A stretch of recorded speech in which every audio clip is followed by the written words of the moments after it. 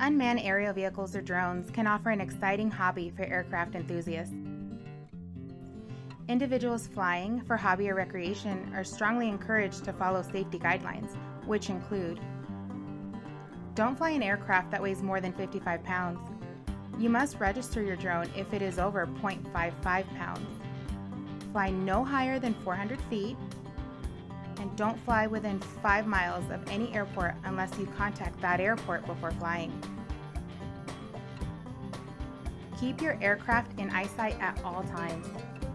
Remain well clear of and do not interfere with manned aircraft operations, and you must see and avoid other aircraft and obstacles at all times.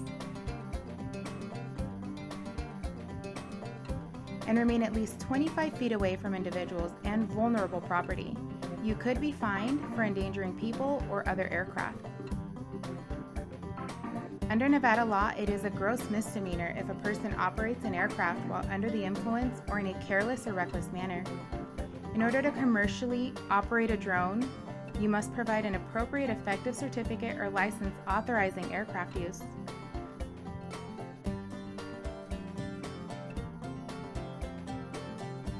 The Federal Aviation Administration encourages aircraft hobbyists to download the Before You Fly app. This app is designed to promote situational awareness and safety. The app features a map which will display any temporary flight restrictions and information on the parameters that drive the status indicator, along with links to other FAA resources.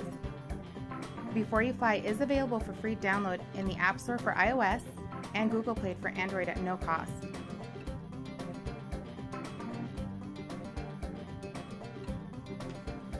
Make it fun for everyone by safely enjoying this exciting hobby.